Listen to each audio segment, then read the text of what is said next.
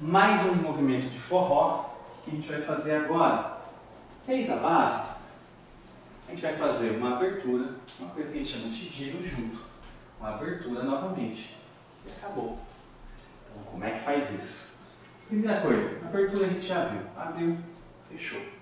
Giro junto, ambos andando para frente, abraçados, juntinhos, girando um, dois, três, juntinhos.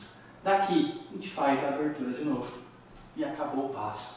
Então, mais uma vez, aproveita para fazer a inscrição no canal, clicar no sininho para notificações, abriu, voltou e acabou o passo.